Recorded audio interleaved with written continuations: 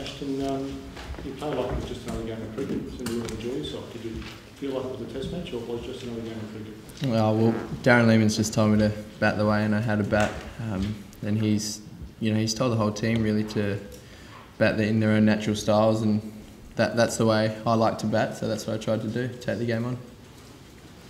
Ollie? Um, I suppose that you've done this for, um, well, you've played some pretty important innings for WA before as well. Um, so to be at number 11, was that kind of a new experience for you? Oh, like, like you said, I've, I've done it before um, in Queensland. Uh, I had to bat at number 11 and was fortunate enough to get 50. Um, so I, you know, I was lucky to have a really good partner at the other end in Phil Hughes. He's a seriously, seriously good player, um, and he really helped me through it.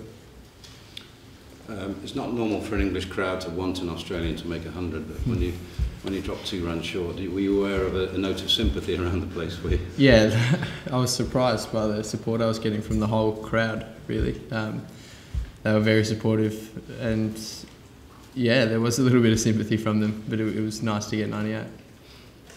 Are there any uh, are there any uh, dreams that have left for you after after that? Like it was, it's, it's pretty much beyond the you know, beyond the usual. Yeah, it was a little bit out of the ordinary, I guess. Um, obviously, it's a dream to make a Test match hundred, but I didn't really dream I was going to make 98 in debut, so I'm, I'm very very happy. Ashton, were you aware of, of Tino Best doing something similar, albeit in a, a different way against England last year? Was it something you knew about? Uh, no, no, I wasn't thinking about that at all, to be honest. But I have heard a little bit about it, but yeah, I wasn't really thinking about it. Ashton, did you sort of grow up watching Ashes and great Ashes moments, and were you aware that perhaps you were kind of making history as you were going on?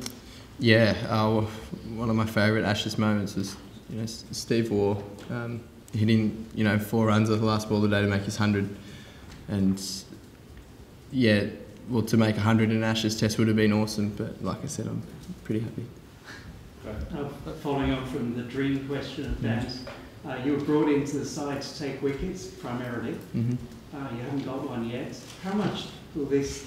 How much does this take the edge off that first wicket? What you've achieved today? Uh, not a lot. Um, because I've been put into the side to take wickets, I'm still very, very hungry for that first wicket. Um, you know, and I, I, sort of consider myself a bowling all-rounder.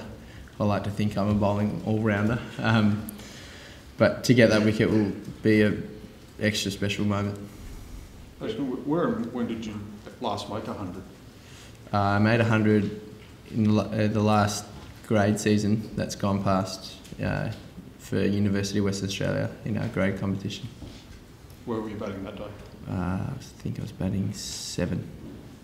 Um, Ashton, can you talk us through that last ball? Mm-hmm. Did you think it well? Did you think it was going past the fielder? Can you talk us through what you were thinking? Yeah, I probably hit it a bit too well. Um, I tried I, all the other ones I sort of been hitting up and over the top, and I sort of tried to come down a little bit on that one and picked him out perfectly. But yeah, so I probably could have made a better decision there. But what did you feel like as caught it? Oh, didn't really feel a lot. I was I was still pretty happy. Um, pretty happy that uh, me and Hughesy were able to get the boys into a bit of a lead, um, which will help us set up the game, I think. Um, as soon as you walked out there, knowing it was nine for 117 situation that you were in, how did you sort of get your head around handling that situation? And then when you had that close stumping call as well, how did you settle yourself down again? Um, me and Hughesy talked about it and we were just going about it ball by ball, um, taking each ball as one moment and you know forgetting about the rest. Um, and then we started to get a partnership together and we just kept trying to build from there ball by ball. We keep saying to each other. So that's yeah, that's how we went about it the whole time. Did, did you feel like you were back in your crease? Uh, yeah, yeah, I'd say I was felt I was like I was just back in my crease. Um, you know, obviously that's out of my control, so I couldn't do anything about it.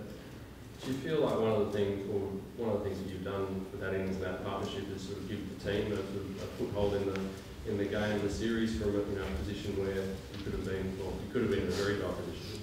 Yeah, it could have been a lot worse. So um, to do that with Hughesy, I think is uh, you know, help me a lot in terms of mentally getting around batting in a test match and, you know, hopefully help put the team in a winning position. What sort of things did he say about that?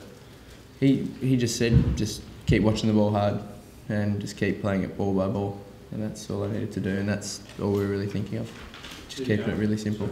So, The stumping looked very close uh, on the screen. mhm. Did the umpire say anything to you when you were given an out? uh, no, no, they didn't say a word to me. Ashton, uh, you, your family had a mad scramble to get around the globe and get here in time, and, but you must feel like you've repaid them with, the, with that knock. Yeah, they, Cost they of were. they were on a plane straight away um, once they found the news out. Um, and to have them there today made that not extra special for me. So you um, made a half century against English opposition back in May, I think, for Henley. Can you compare the, the attack you scored runs off that day? Yeah, no, it wasn't the same. I'll, I'll leave it there. Who was better? no, England's better. Ashton, you, you had to keep um, your selection secret for two days. Yeah. How, how hard was that? Oh, all I really wanted to tell was my family. So uh, once once I got to tell them, it was it was pretty easy. But there was a lot of excitement, so I can understand why you say that. Ashton, apart from the early stumping chance, I mean, you looked to be at ease there throughout the whole innings. Were you in like a zone, so to speak? Um, I think I, I like to keep myself fairly relaxed, um, and I don't get too nervous when I bat. Um, and yeah, and just I just try to play freely. So um, you know, when I'm sort of hitting the ball well, I just try and keep doing that throughout my innings and not change too much. Um, Ashton, you've played a lot of great shots out there. Is there any favourites? Um, yeah, I'd say uh, six I hit over wide, long on off Graeme Swann. Definitely my favourite. Actually, if you had a choice now of taking five shots in innings or scoring 100, which would you prefer? I'd like either one, but uh, it'll be nice to take five for now. Now that I didn't get 100, I'd, I'd take the five for. Ashton, did any of the, um, I think there was some suggestion a couple of the English players came over to, to congratulate, stroke, commiserate with you as you were walking off after, after your uh, innings. Is that true? Yeah, yeah. Our Graeme Swann came up and shook my hand, um, you know, which was great. So he was very good about it. What did he say to you? He said, "Well done, young fella." He said it was great. Uh, Ashton, where do you think the balance of power lies now for the if you had it or not? I think if we can get a, if we can break the partnership, the power would definitely be in our hands. It's a pretty, it's a pretty good wicket, um, especially to play the quick on. So, uh, and there's a lot of time left in the game. So, if we can get through them tomorrow, I think we can win this game. So, Matt, will you be pushing to move up the order in the second year? That's in the coach's hands, but yeah, possibly. I guess it's a possibility now. Nathan? Uh, Ashton, I don't know if you're aware of the commotion you've caused back in Australia and on Twitter. Um, I've read it, some Hugh Jackman tweeting about him, people calling you the Prime Minister. People have been bringing Hager bombs. And is Um, it hashtag? Oh. So you've basically taken over Twitter. Um, you wouldn't have had a chance to take that in, but do you feel like that this is a bit of a possibly a life-changing moment? What do you make of it? Yeah, it could be. It's just it's a dream come true, really. That's that's what it is to me. I've you know forever I've dreamt of playing Test cricket for Australia, and um, for my debut to start the way it has, you know I'm over the moon. I'm very happy. Jacqueline? Just when you were growing up, was cricket always the number one? I think you were also quite a good footballer, and was there ever a chance that you might do other sports? And, and when did, did you actually decide to concentrate on cricket? Uh, cricket was always the number one. That was always the dream. I did play a bit of junior footy, um, but everyone grew a lot quicker than I did. So I was this sort of little fat kid getting smashed around. So I thought I'd give that a break. Um, and then cricket sort of took off. So yeah, cricket's always been the number one. Last question. Ashton, a lot of people were saying it was tragic that you didn't make 100. I thought it was bloody brilliant that you made 98. How do you see it? Exactly the way you see it. yeah, exactly the same. I'm I'm super happy, and I was happy that you know me and Hughesy could get the team into some sort of winning position.